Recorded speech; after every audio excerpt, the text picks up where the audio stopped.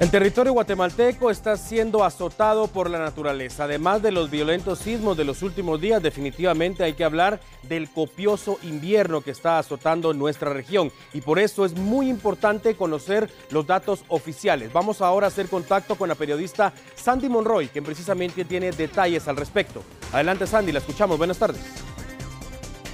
Cabe hacer algunas recomendaciones para saber qué hacer en caso de que ocurra un sismo como este, porque sabemos que vivimos en un país altamente sísmico y qué mejor que don Eddie Sánchez, director del INSIBUME, que nos dé esas recomendaciones. ¿Qué tal? ¿Cómo está? Buenas tardes. Eh, buenas tardes a todos. Bueno, una de las mejores recomendaciones es conservar la calma, no aterrorizarse, eh, sabiendo que tiembla en Guatemala y que tarde o temprano uno va a tener un evento sísmico fuerte como el de hoy. Así que hay que ver cómo se reacciona, cómo eh, se, puede tener un plan de evacuación y, ver la manera cómo poder salir.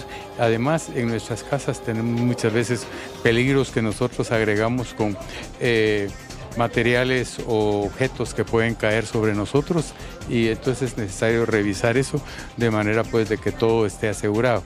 Eh, hay que instruir a los niños qué hacer.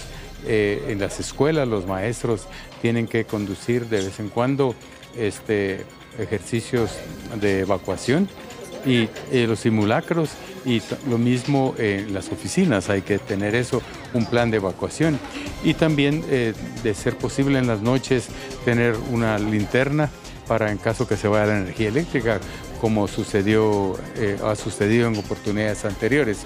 Y ante todo pues mm, cuando, después de que ocurre el sismo, si uno tiene que salir a las carreteras, eh, tener precauciones porque pueden darse réplicas que pueden ser un poquito más fuertes y haber derrumbes que también puede pasar, que desgraciadamente eh, puede pasar inclusive ahora que los terrenos están saturados sin que hayan temblores. Es decir, que no aconsejamos que, por ejemplo, se maneje o se circulen las carreteras de noche, ya que las condiciones que tiene el terreno húmedo eh, son altamente peligrosos. Eso de la lluvia y los sismos, esa combinación, ¿qué tan peligroso puede resultar?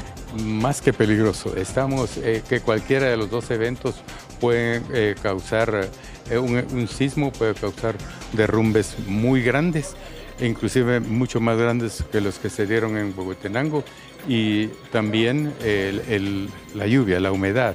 Eh, todavía tenemos unos dos o tres días más de lluvia que hay que tomar en consideración por el exceso de humedad. Hay lugares eh, en el altiplano donde la humedad está al 100%, es decir, los terrenos excesivamente saturados y eso puede ocasionar alguna tragedia.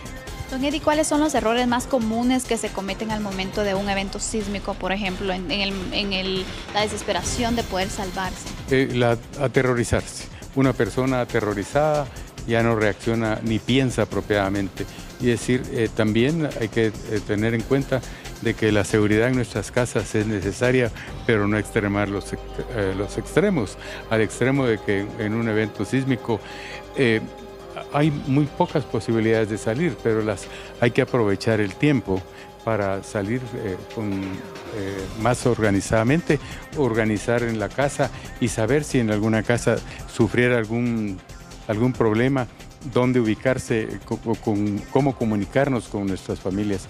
Y también hay otra cosa, no usar el teléfono de inmediato, porque eso eh, eso causa problemas a las autoridades porque no pueden recolectar información que probablemente puede ser vital.